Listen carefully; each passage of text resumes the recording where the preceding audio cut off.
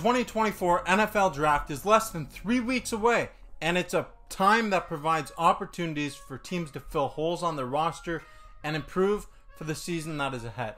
For the Buffalo Bills, they have a real need at the wide receiver position after the departure of two of their former top targets in Stefon Diggs and Gabe Davis.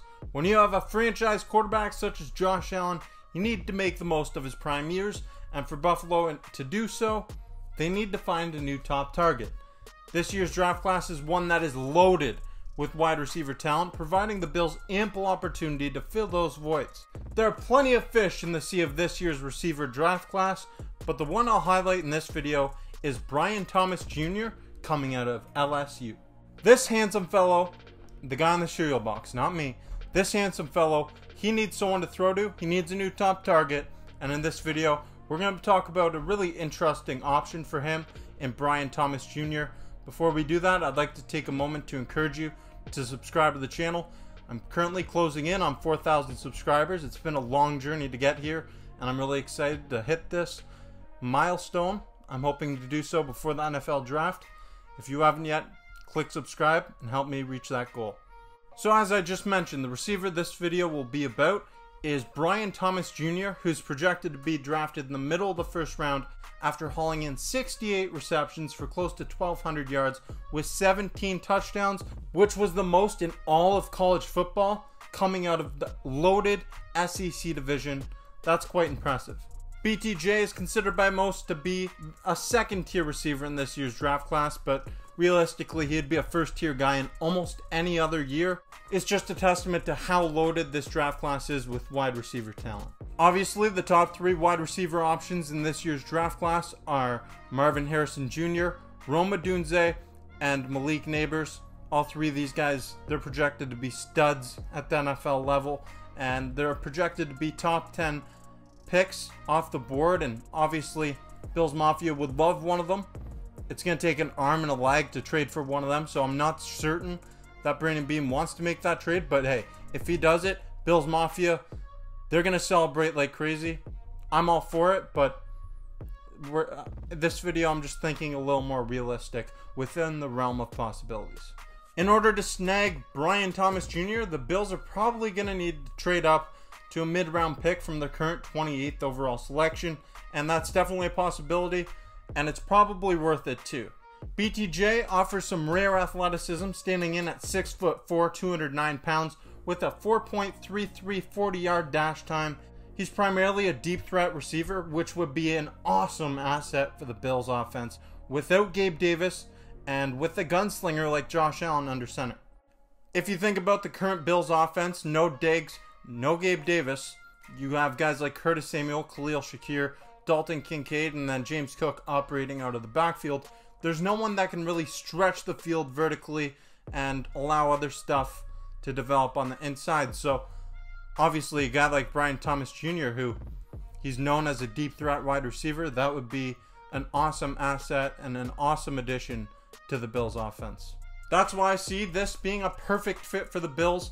There's a lot of pros that come with BTJ, but there is also some cons, with the biggest potential issue being his short running ability. If you watch him on film, there's evidence that he struggles on curls and comeback routes. But at just 21 years old, this is a guy who has a lot of potential and room for growth. Another con is the fact that he was the second option in the offense, with Malik Nabers being the top alpha receiver. Will he be able to be a top dog in an NFL offense? A lot of people are asking that question. I think he will be able to, but still, the question remains. Having the ability to stretch the field vertically with his speed at his size of 6 foot 4, it's a rare combination and it's definitely something that comes with a lot of upsides and it makes him hard to ignore. On top of all this, Brian Thomas Jr., he's been linked to the Bills for quite some time and I mean, here's what Malik Nabers, his former teammate from LSU had to say. I don't know. I think I think he gonna be a Buffalo Bill, y'all.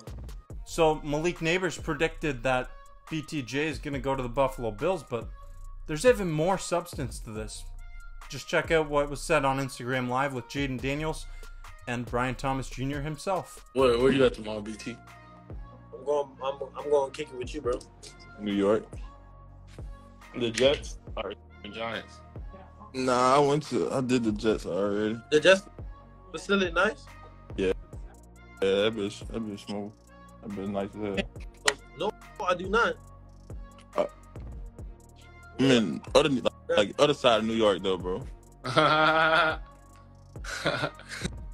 boy like Canada. So obviously, the other New York team that Brian Thomas Jr. is referring to in that Instagram live video is the Buffalo Bills. I mean, a lot of things here talking about Brian Thomas to the Bills. It's pretty intriguing. Um, one New York team.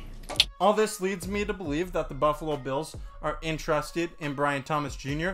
And if they are indeed interested in him, they're going to need to move up to get him. It's still a possibility.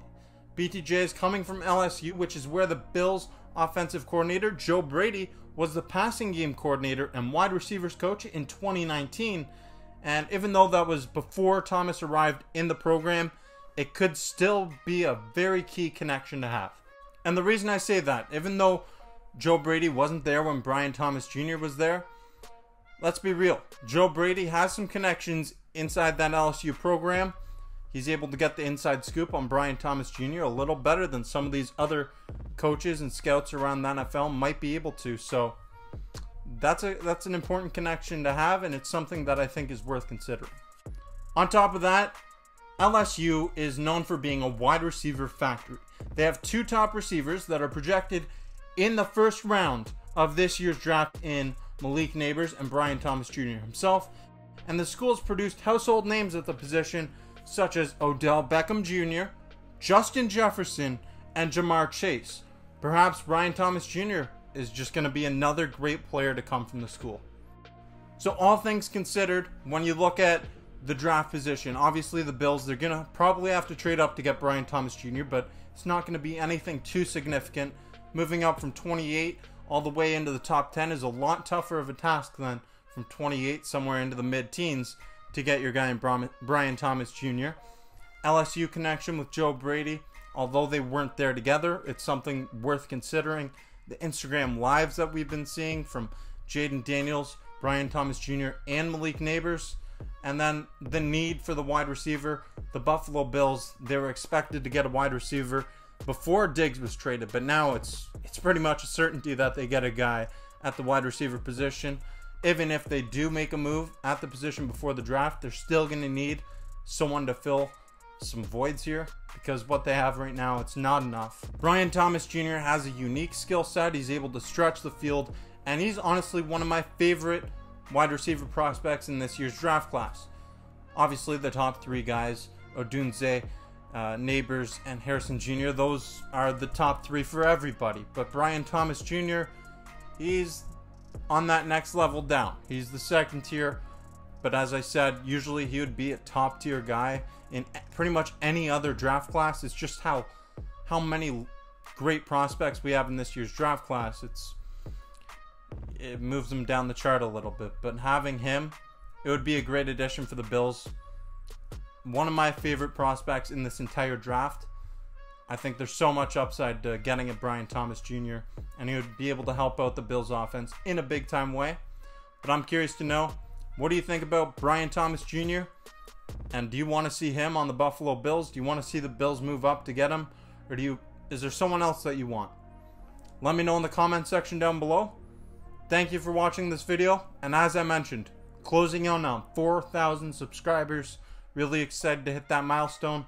I hope you join me on this journey. Hope you click subscribe if you haven't yet.